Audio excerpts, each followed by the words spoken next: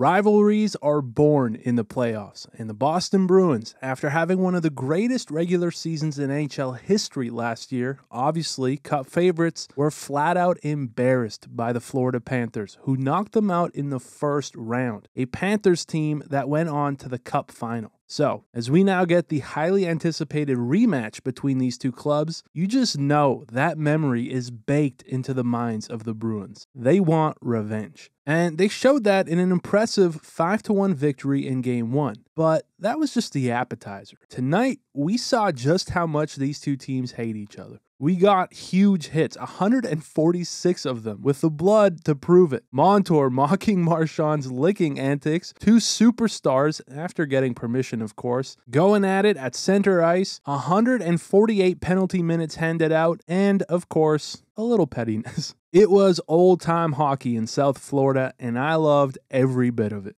So, how about we get into it? It was right out of the gate, and these two were at each other's throats. And right out of the gate, Swayman was himself with a big stop. So, on the other end, shot, rebound, and Marchand bouncing puck misses the open net, which seemingly pissed the little ball of hate off because he immediately laid a massive hit on Tkachuk. A little rat on rat violence never hurt anyone, but I knew we were in for a good one. As even after the whistle, Marchand was laying hits. Good hit. It's okay.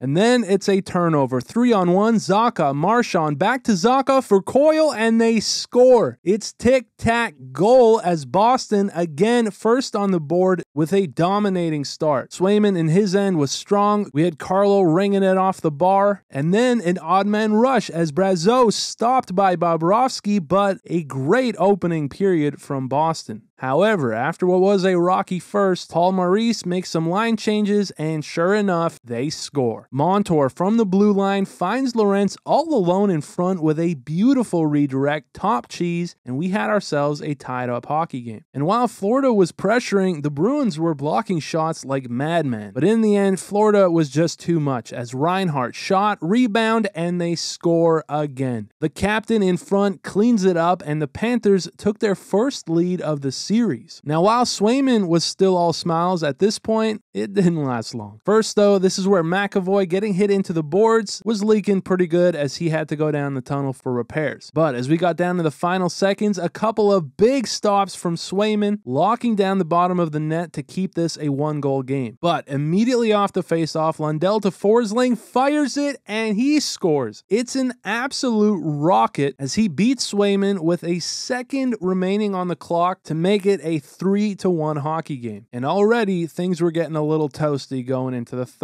and final period, where right out of the gate again, there was no relief. Reinhart to Barkov for Luostarinen, and they score again. Not 90 seconds into the period, it was now a three goal game, and Montgomery had seen enough. Yank Swayman for Ullmark, mostly just trying to light a spark, as Swayman actually played pretty good. But after the boys began throwing their bodies again, it began to boil over midway through as it got chippy near the benches. Frederic with some nice elbows for Rodrigues, and Maroon during the commercial break with some special words for Cousins, as these two were the first to get the boot. But getting a power play out of it all, it's Barkov. Give and go with Reinhart, and he scores. It was now five, the only power play goal of the game, and Tkachuk now had some special words for Coyle. You knew it was coming, and sure enough, finally, what had been brewing came undone as we got all 10 10 of them going at it. But check this out Kulikov and Brazeau with a nice little dancey dance before Kulikov threw him to the ice. And after all was said and done, we had 10 minute misconducts for another four guys. Tkachuk here just right at home. and despite Boston actually getting the power play out of it all, it was Florida again. Barkov to Montour, and they score again. Just pouring it on for the sixth straight unanswered. But look at Montour, stares down Marchand, and then screams right in his face. And of course, all hell broke loose again. Everyone gets their man as we had yet another scrum. But this was the best part. Montour, you want it? You want it? Mr. Licks a lot.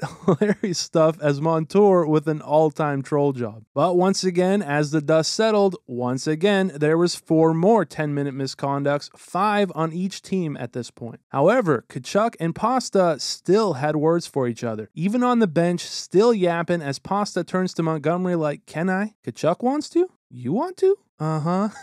All right.